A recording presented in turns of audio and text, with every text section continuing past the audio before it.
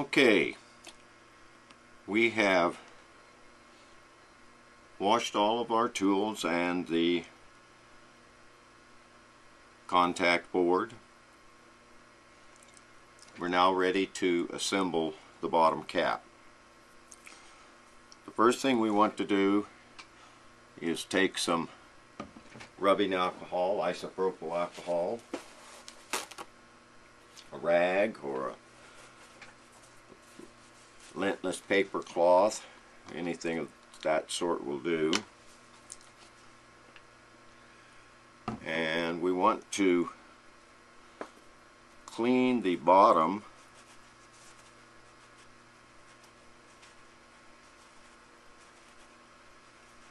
of the printed circuit board, let it dry, and clean the inside, that's the side with the threads, clean the inside surface of the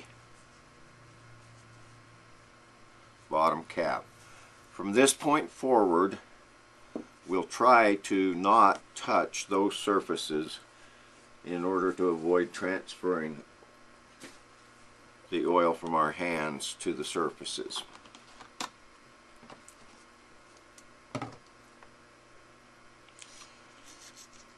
The next step is to take the 1 16th inch Allen wrench and the three 632 by 1 half set screws and assemble them. You assemble from the outside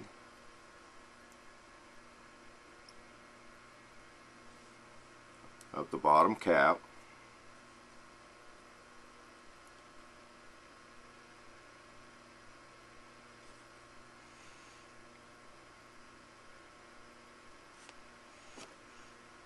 and you want to do. Excuse me got out of frame there for a little bit. What you want to do is you want to screw these in until the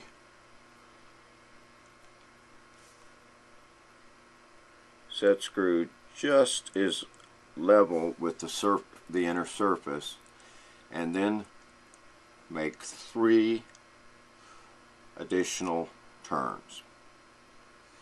Okay, we'll repeat that with the other two set screws.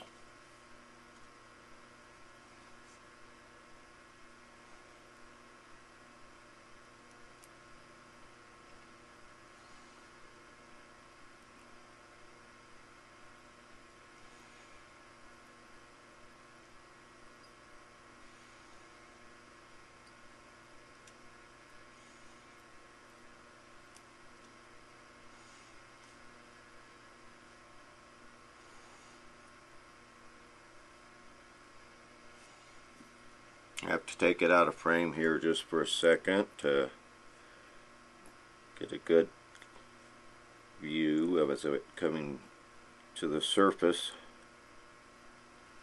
the inner surface of the bottom cap. And then three additional turns.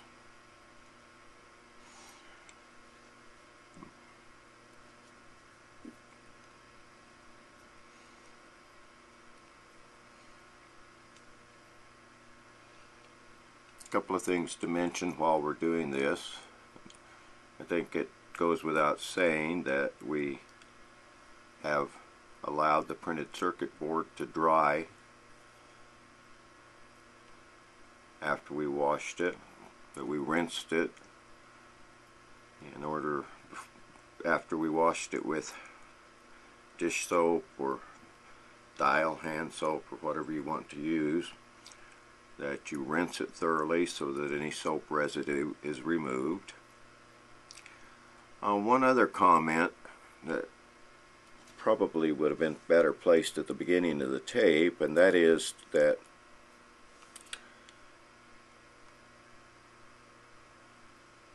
these parts have not been washed before they have been sent to you. So they may have machining oil on them.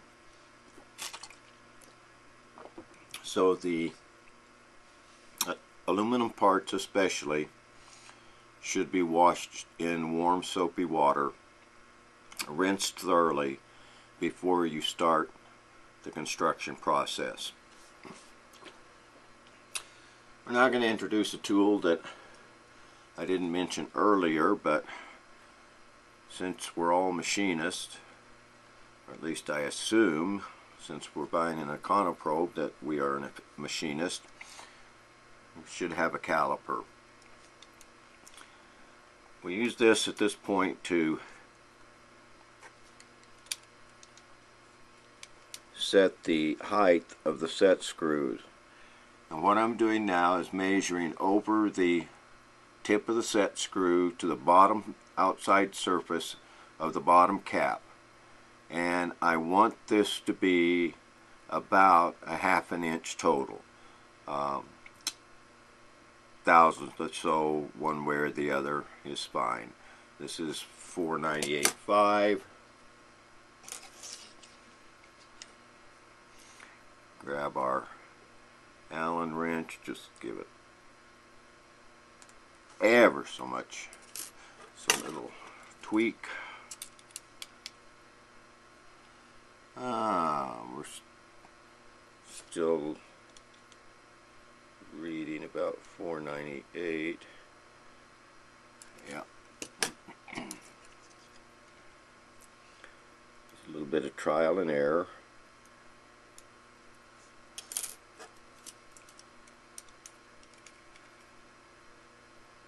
Okay, to 501, went a little bit too far, but that's okay.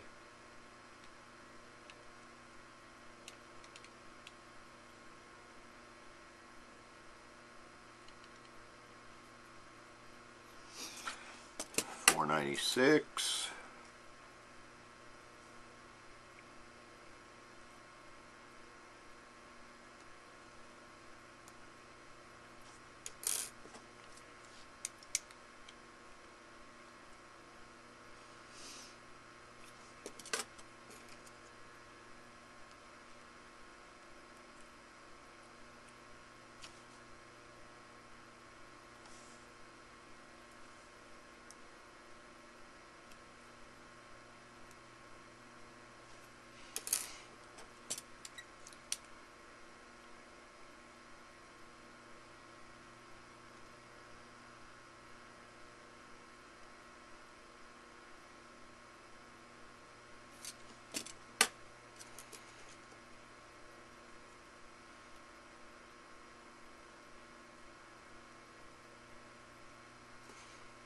Was being a little bit ornery.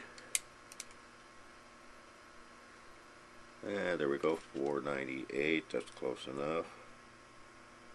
505, that one's a little bit too far through. So we'll back it off just a little bit.